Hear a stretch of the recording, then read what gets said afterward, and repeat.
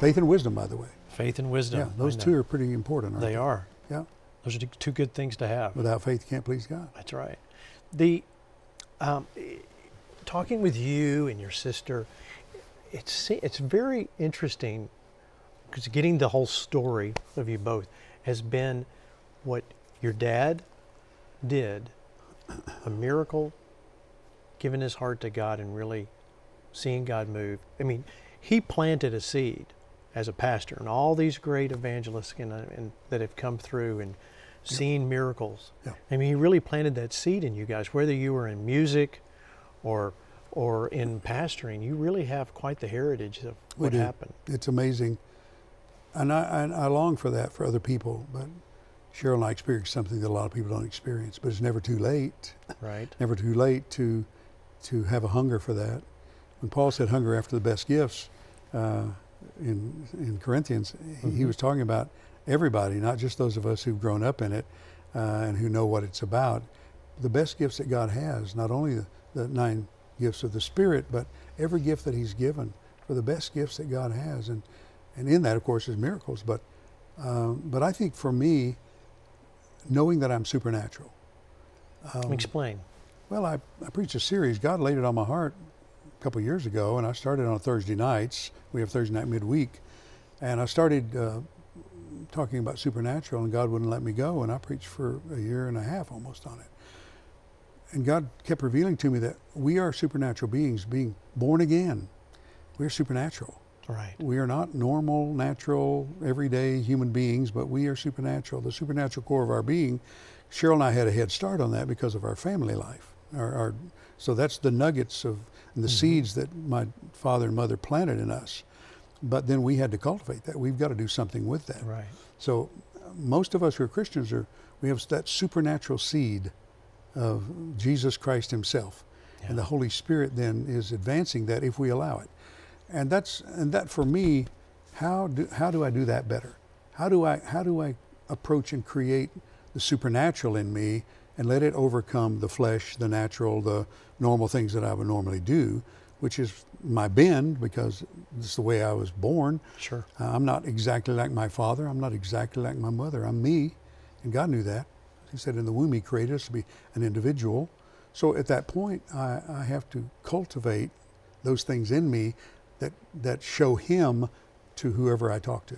Today so with what's, you. What's the key? What's if you had to make it down into three keys Well, to, to, to let the supernatural come forward? What would it be? well, Jesus said it pretty clearly deny yourself, take up your cross, and follow me. Those three things are, are the things that you would do.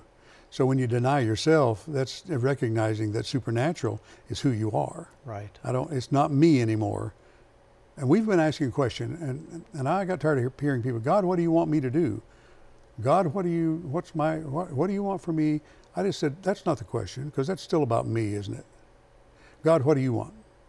End of question. Hmm. That's it. What do you want? When we ask that, we take ourselves out of the uh, the, the equation, and it's all about God. Yeah. So when we land on that question and look for that answer, God, what do you want? That's what Jesus always asked. I want to please my Father. Right. What do you want, God? I'm willing. Yeah. So what do you want? That's how we do it. We get past ourselves, deny ourselves, take up the cross, which is not a fun deal. Right. Because if you look at all the cross ex- exhibits and portrays, it's not what we want to do. But when we we have to deny ourselves before we'll ever take up the cross. He had it in right order. Hmm. Because you can't follow Jesus without taking up the cross. You can't take up the cross without denying yourself. Right. You won't. You can, but you won't. Won't. So that's what supernatural means to me. To move into supernatural, you have to deny yourself, take up the cross, and then follow Jesus. And we fail at that. hmm Flesh comes up. Paul's a pretty good one to talk about that Right. in Romans. is. And he talks about it a lot. He said, flesh keeps rising. I want to do what's right. and I can't, and I don't. And uh, I go back. And, but God's after a repentant heart, isn't he? Yeah. He is. David proved that. Man after my own heart. How come? Because he was repentant. He was. And it, you know, you're talking about a lot of which we talk about on the program. It comes down to one thing, and that's being the one. And when your your your dad did that, um, you know, and you guys have done that, where you, you decided to be the one that you're going to stand for what you're standing for, preach what you know to preach, Yeah. sing what you know to sing, and see God move. Um, so many revivals have come and awakening started with one person that stood up and said, I'm going to do something. I don't care if anybody else does, I'm going to do it. Yeah. So here's my question for you. In light of all that and all that we've talked about and your past and your history with your dad's church and even the miracles in his life growing up as you were a young man, the you have a very unique perspective with all that you've done. What does really a revival mean for you? Well, I think it has to be personal first. Explain. I can't I can't stand behind the pulpit here on this platform and tell these people out here that they need to have revival if I'm not having it. it's empty How do you words. keep it fresh then? Um, I spend two days a week uh, not in this building. Um, two days a week in the Word, in prayer, Yeah. and study. Uh, Thursday, which we have church on Thursday, and Saturday before Sunday, I, I spend uh, not here. Right. Um, there's too much goes on around you when you're not um, silent and listening. Uh, I think we talk too much, preachers particularly, yeah. and uh, not too long, but too Yes. much. That's right. Yeah. But, but uh, I think we just talk too much. I think Yeah. we, we are always talking and, we don't listen enough. God has some things He wants to say to us, both in the Word and in the Holy Spirit. So if I don't take that time and isolate myself or shut everything else out, where I can just hear from the Lord, I can't have revival. I just Mhm. can't. And that, that goes for the congregation too. And that's hard because they got pressure. I mean, they're having to work Sure. for a living. They're, you know, got their kids. They got, you know, their wife and their husband and their job and their, you know. But if we allow fishing and golf and, you know, our hobbies to take us away from those moments when we should be listening to God, we have to be real careful. Again, we have to crucify that flesh. We have to deny ourselves.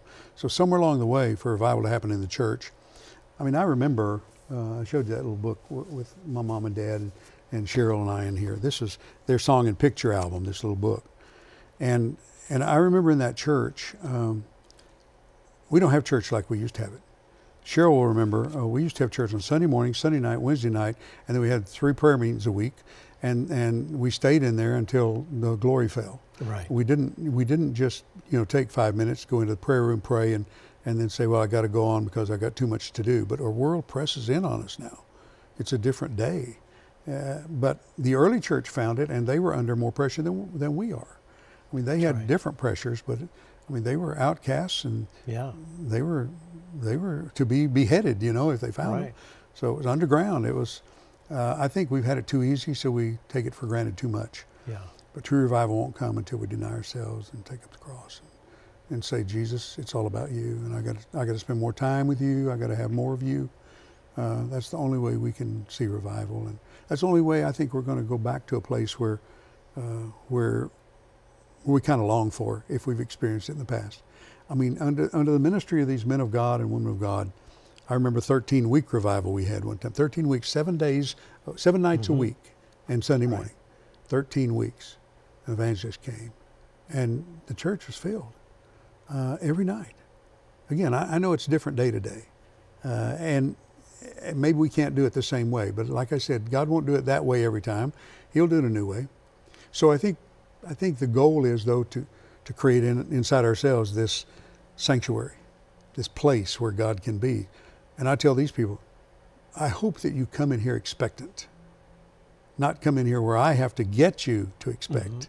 Mhm. Right. If you That's come good. in That's good. expecting, we're already way ahead. We, we've got to step up on it already. We're, you know, we're down the road a little bit because if you come in here dead, dry, Right. not having spent time with God at all, it's hard for the pastor. It's hard for the singers. You know, Yeah. I mean, we've got to have some interior work in us to prepare us. I love that song, Prepare Me to Be a Sanctuary. Yeah. Lord, prepare me. That's really the key. I think the challenge uh, for every pastor is to be a shepherd. Um, people searching for the spectacular instead of the supernatural. Event versus process.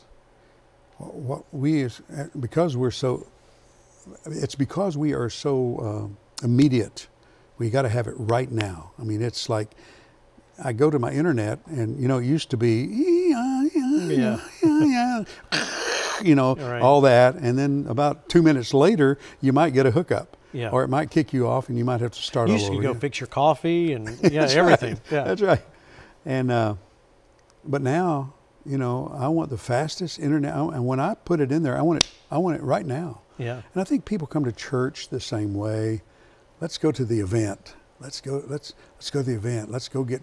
Let's go get powered up. Let's plug in Right. And let's let's let our hair stand on end, you know, and Yeah. and let it wave in the breeze of the Holy Spirit. All that is good. That's what I remember. I remember that. But there's a process after that. So if we just do event to event to event to event, there's no maturity. There's no life in that beyond the next event. What's the process? The process is allowing God to do in you what that event has opened the door for.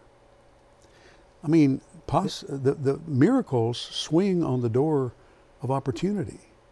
You, if you don't give God the opportunity to make process happen in you, you won't see miracles.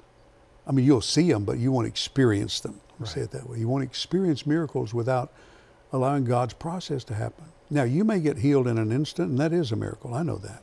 Mm-hmm. A miracle.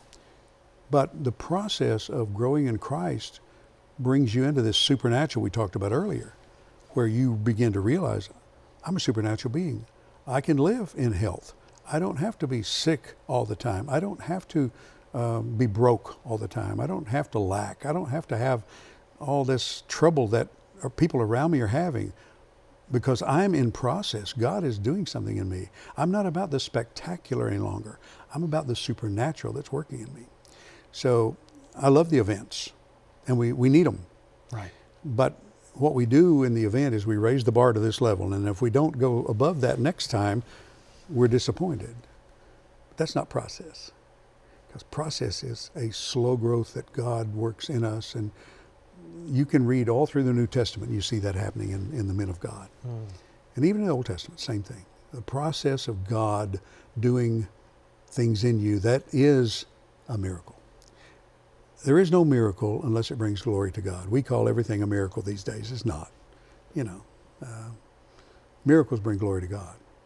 So in the process, we find the miracles that bring glory to God. We find things that happen that seem outside the norm. Well, that's where God is. Uh, he is a supernatural God that brings supernatural things to people who are willing to be in supernatural process. That's just the way He works. That's good. Boy, that's great. That's great stuff right there.